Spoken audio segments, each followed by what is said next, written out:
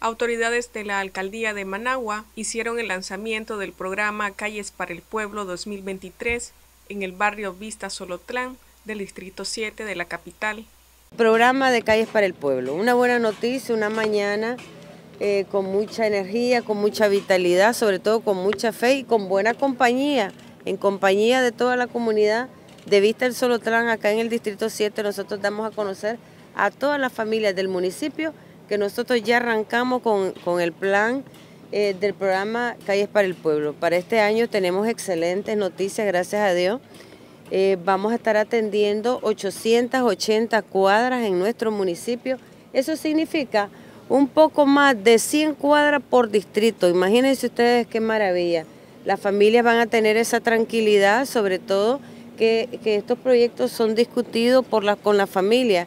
La, sabiduría emana de la familia, las prioridades que ellos hacen en cada uno de sus barrios. Así que nosotros, como vemos, venimos a, a supervisar el avance realmente, pero dando a conocer las cuadras que vamos a estar atendiendo, tanto en concreto hidráulico como en revestimiento asfáltico. En las diferentes modalidades vamos a estar atendiendo nosotros.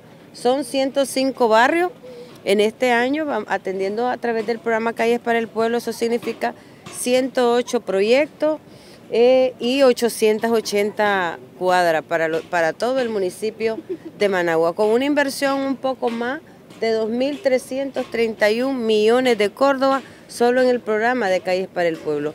Acá en Vista del Solotrán nosotros estamos atendiendo seis cuadras con concreto hidráulico, con una inversión un poco más de 5 millones de Córdoba. Pero quiero contarles que nosotros venimos atendiendo en este barrio, primeramente fue el drenaje. No podemos nosotros este, atender lo que es el revestimiento asfáltico o, el elemento vial sin haber atendido lo que es este, el drenaje.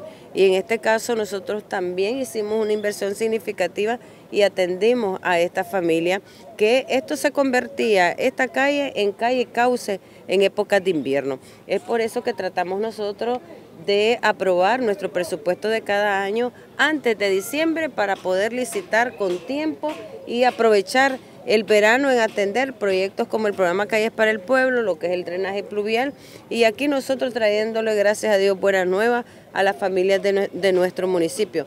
En este barrio, en su totalidad, hasta el momento, hemos invertido un poco más, casi 40 millones de Córdoba.